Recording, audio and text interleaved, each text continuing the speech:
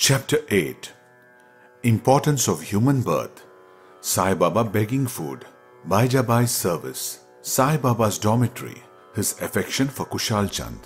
As hinted in the last chapter, Hemadpant now explains at length in his preliminary remarks on the importance of human birth and then proceeds to relate how Sai Baba begged his food, how Bayajabai served him, how he slept in the masjid with Tatya Kote Patel and Malsapati, and how he loved Khushalchand of Rahata. Importance of human birth. In this wonderful universe, God has created billions, 84 lakhs according to Hindu Shastra calculation of creatures or beings, including gods, demigods, insects, beasts and men, inhabiting heaven, hell, earth, oceans, sky, and other intermediate regions. Those creatures or souls whose merits preponderate go to heaven and live there till they enjoy the fruits of their actions. And when this is done, they are cast down, while those souls whose sins or demerits preponderate go down to hell and suffer the consequences of their misdeeds for so long a time as they deserve. When their merits and demerits balance each other, they are born on earth as human beings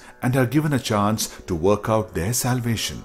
Ultimately, when their merits and demerits both drop down or are got rid of completely, they get the deliverance and become free. To put the matter in a nutshell, souls get their births or transmigrations according to their deeds and intelligence, development of their minds. Special value of the human body. As we all know, four things are common to all the creatures food, sleep, fear, and sexual union. In the case of man, he is endowed with a special faculty, knowledge, with the help of which he can attain God's vision, which is impossible in any other birth. It is for this reason that gods envy man's fortune and aspire to be born as men on earth so as to get their final deliverance. Some say there is nothing worse than the human body, which is full of filth, mucus, phlegm, and dirt, and which is subject to decay, disease, and death. There is no doubt true to a certain extent, but in spite of these drawbacks and defects, the special value of the human body is that man has got the capacity to acquire knowledge. It is only due to the human knowledge that one can think of the perishable and transitory nature of the body itself and of the world and get a disgust for the sense enjoyments and can discriminate between the unreal and the real and thus attain God's vision. So, if we reject or neglect the body because it is filthy, we lose the chance of God vision. And if we fondle it and run after sense enjoyments because it is precious, we go to hell. The proper course, therefore, for us to pursue is the following that the body should neither be neglected nor fondled, but should be properly cared for, just as a traveler on horseback takes care of his pony on the way till he reaches his destination and returns home. Thus, the body should ever be used or engaged to attain God vision or self realization, which is the supreme end of life. It is said that though God created various sorts of creatures, he was not satisfied, for none of them was able to know and appreciate his work. So he had to create a special being, man, and endow him with a special faculty, knowledge, and when he saw that man was able to appreciate his Leela, marvelous work, and intelligence, he was highly pleased and satisfied. White Bhagavat 28 9 11. So, really, it is good luck to get a human body, better luck to get birth in a Brahmin family, and best one to get an opportunity of having recourse to Sai Baba's feet and surrendering to him. Man's endeavor. Realizing how precious the human life is and knowing that death is certain and may snatch us at any time, we should be ever alert to achieve the object of our life. We should not make the least delay but make every possible haste to gain our object, just as a widower is most anxious to get himself married to a new bride, or just as a king leaves no stone unturned to seek his lost son. So, with all earnestness and speed, we should strive to attain our end. This is self realization. Casting aside sloth and laziness, warding off drowsiness, we should day and night meditate on the self. If we fail to do this, we reduce ourselves to the level of beasts. How to proceed? The most effective and speedy way to gain our object is to approach a worthy saint or sage, Sadguru, who has himself attained God vision. What cannot be achieved by hearing religious lectures and study of religious works is easily obtained in the company of such worthy souls. Just as the sun alone gives light, which all the stars put together cannot do, so the Sadguru alone imparts spiritual wisdom which all the sacred books and sermons cannot infuse. His movements and simple talks gives us silent advice, the virtue of forgiveness, calmness, disinterestedness, charity, benevolence,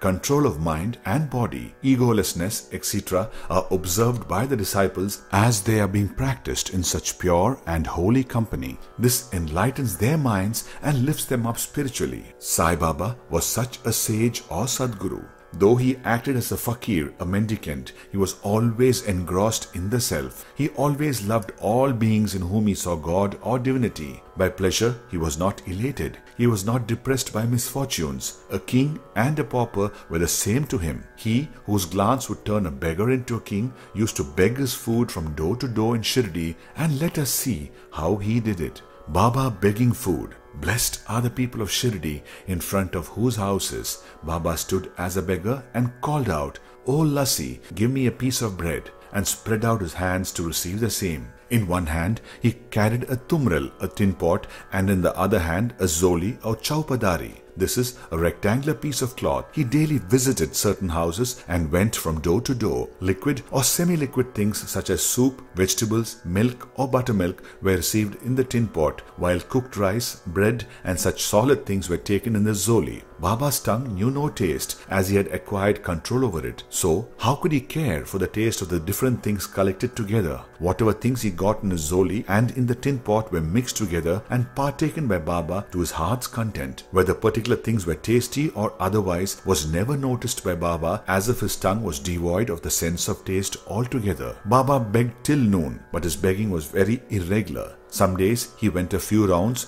on other days up to 12 noon. The food thus collected was thrown in an earthen pot. Dogs, cats and crows freely ate from it and Baba never drove them away. The woman who swept the floor of the masjid took some 10 or 12 pieces of bread to her house and nobody prevented her from doing so. How could he, who even in dreams never warded off cats and dogs by harsh words and signs, refuse food to poor, helpless people? Blessed indeed is the life of such a noble person. People in Shirdi took him in the beginning for a mad fakir. He was known in the village by his name. How could one who lived on alms by begging a few crumbs of bread be revered and respected? But this fakir was very liberal of heart and hand, disinterested and charitable.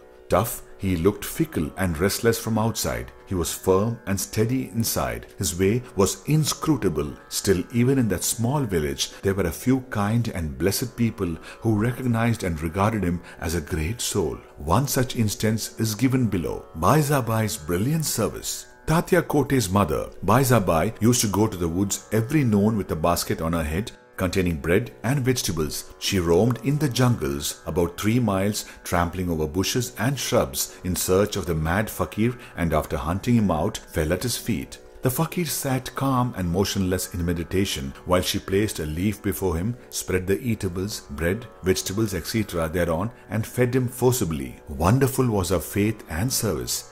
Every day she roamed at noon in the jungles and forced Baba to the partake of lunch. Her service, upasana or penance, by whatever name we call it, was never forgotten by Baba till his Mahasamadhi. Remembering fully what service she rendered, Baba benefited her son magnificently. Both the son and the mother had great faith in the fakir, who was their god. Baba often said to them that fakir, the mendicancy, was the real lordship as it was everlasting, and the so-called lordship or riches was transient. After some years, Baba left off going into the woods, began to live in the village and take his food in the masjid. From that time, Bayajabai's troubles of roaming in the jungles ended.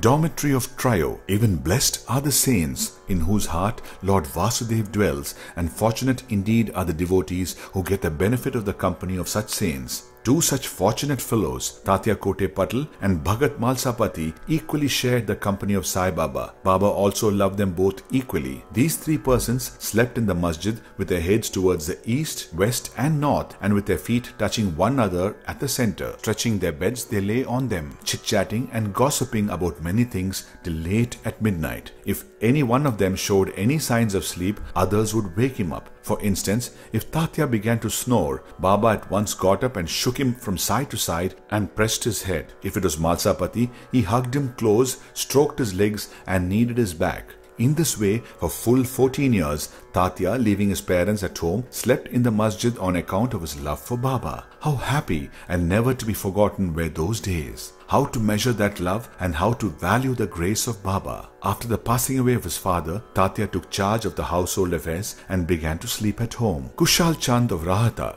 Baba loved Ganpat Kote Patel of Shirdi. He equally loved Chandrabhan Seth Marwadi of Rahata. After the demise of the Seth, Baba loved his nephew Khushalchand equally or even perhaps more and watched his welfare day and night. Sometimes in a bullock cart and at other times in a tanga with intimate friends, Baba went to Rahata. People of that village came out with band and music and received Baba at the west or gate of the village and prostrated before him. Then he was taken into the village with great pomp and ceremony. Khushalchand took Baba to his house, seated him on a comfortable seat and gave him a good lunch. Then they talked freely and merrily for some time, after which Baba returned to Shirdi, giving delight and blessing to all. Shirdi is midway between and equidistant from Rahata on one side south and Nimgaon on the other side north. Baba never went beyond these places during his lifetime. He never saw any railway train nor travelled by it. Still, he knew exactly the timing of arrival and departure of all trains. Devotees who acted according to Baba's instructions regarding their departure, which were given by him at the time of taking his leave, fared well, while those who disregarded them suffered many a mishap and accident. More about this and other matters will be told in the next chapter.